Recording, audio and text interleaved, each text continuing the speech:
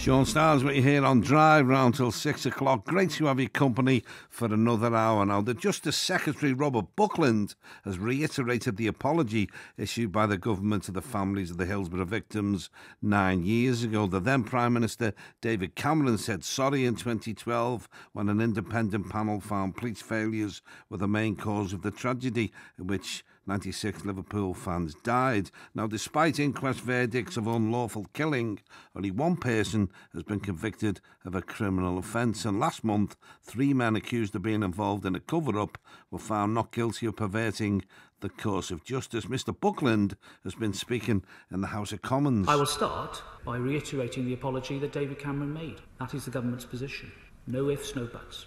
With regard to the prosecution, clearly it was right for the case to be brought. Uh, as Lord Chancellor, I have to respect the process. However, that has had quite a consequence for the families. And I think the important work that now needs to be done by colleagues in the Home Office and I is to focus on Bishop James Jones's 2017 report and work with the families to make sure that those recommendations are carried out. Now, the Minister was responding to a question from the Garston and Halewood MP, uh, Maria Eagle, uh, who said there'd been a catastrophic failure of the criminal justice system. And uh, Maria Eagle is with us this afternoon. Maria, welcome to the programme this afternoon. How important, Maria, do you think it was that the government apologised to the families again? Was it a symbolic gesture or, or more than that? Well, I asked him in, in my question to do so, um, to test the current government's view, because it's been quite clear since the families have been silenced since the inquests for these um, criminal uh, trials to go ahead. The families mm-hmm. have had to keep quiet. And what's happened is that those who were defending, uh, were de- uh, acting to defend the those charged, have been reiterating all the old slurs, and the families haven't been able to reply. And so I thought it was important um, since two of the defence lawyers actually have come out and made public statements after the end of the trials, reiterating the slurs and denying there was a cover up. I thought it was important to just get the government to put on the record uh, their support for that apology, because that apology set the record straight. And it's important that that's remembered. So that was important. The other important thing about the response from the Lord Chancellor today to my question was that he acknowledges that legal changes now need to be made to stop this kind of catastrophe from ever happening again to any other families who are bereaved by public disasters. Mm. I mean, Robert Buckland promised to work with the families to implement the recommendations from Bishop James Jones' report in 2017. Uh, Bishop James called for a charter for bereaved families and a duty of candour for police officers at public inquiries. Uh, how confident are you that these recommendations will be acted upon, Maria? Well, I think that the job of those of us who are still in Parliament and, and campaigning on this is to make sure that they are.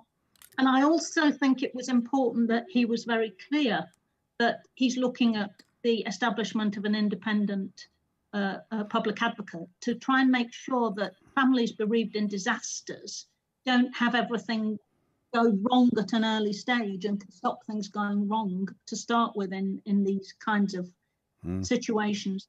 And both I and Theresa May were were pressing him on that, and he he made some very heartening noises about looking at that. I think there are a number of legal changes which, taken all together, could make a real difference to any other families bereaved in public disasters in the future. Because I mean, although now there is no further chance of any criminal convictions in the Hillsborough cases. Mm. The families all want to make sure that this never happens again to anybody else, and, and that would be a legacy for their campaign. And I want to make sure that we get those changes. Sure. I mean, the so called Hillsborough law has been in the pipeline for a while now. How quickly would you like to see the Justice Minister act on this? Well, quickly. Um, and he himself uh, did say in the Commons today that he understands that, that speed is important. Uh, and so perhaps a bit quicker than would normally be the case. But I mean, Andy Burnham's bill was written in 2017, it's still there. My public advocate bill is available, ready written. And so there's no reason why these things can't be done quite quickly. but we have to persuade the government of, of, the precision of the measures and persuade them about what needs doing. So there is some work to do. But mm. those of us who are still campaigning in the House of Commons um, will try and make sure, we'll hold their feet to the fire and we'll try and make sure that finally the law is changed to make things better for families bereaved by public disasters like Hillsborough. Sure. And, and, during the Commons debate, Maria, you also suggested the Crown Prosecution Service uh, as questions to answer over the prosecutions that followed the inquest verdicts of unlawful killing. Well, what questions would you like to ask the CPS?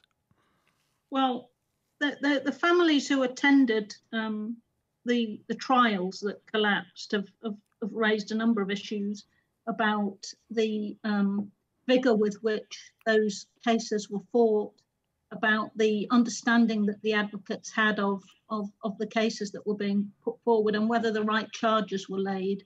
Um, so that's something that, that I'll have to take up in other ways. Mm. Um, the Attorney General is the is the, the minister responsible, and of course the DPP. I'm on the Justice Select Committee, and the DPP is appearing in front of the Justice Select Committee within the next couple of weeks. So perhaps it's something that I can ask him. But I'm um, simply reflecting questions that have been raised with me by families who were in attendance every day at these at these trials. And one thing is very clear: only only only two of the 14 charges brought against these six men in the last five years have actually been put to a jury. Um, and so there's no doubt about the fact that there's been a failure. Um, and so I think that there are some questions that the CPS will need to answer. Mm. I mean, the Hillsborough Archive contains documents published by the independent panel uh, and evidence given at the Warrington inquest. How important is it that all the information is preserved and made available for future generations, Maria? Oh, it's tremendously important, and not only online, but the actual documents as well. And the, the online archive was taken down to try and make sure that there was no uh, prejudice to these criminal trials. But those trials are now over, so it should be put back up. And uh, my colleague Alison McGovern raised this issue in the um, in the urgent question this afternoon and got a positive response from the Lord Chancellor. So we expect to see some action on that. It is tremendously important, particularly because there now seems to be in some quarters some effort um, to to try and put these old slurs forward again and to suggest that there was no cover up. So we have to be clear. There was a cover up. The government has have apologised for it and reiterated that today. And um, the inquest verdicts were very clear that no Liverpool supporters had any responsibility for what happened on the day. That was the, largely the failings of the police, but some other failings as well. And we can't allow that narrative that it wasn't the police's fault to escape into the public consciousness again. It's got to be stamped on and stamped on now. And the archive being available both online and in in uh, in practical reality somewhere on paper um, it is an important part of of making sure that the truth is available for people to see for themselves. Sure, Maria. I know you're busy. Thank you so much for your time today. Thank you. That's Maria Eagle, uh, Garston and Halewood MP on the programme uh, this afternoon. It's Sean Styles on.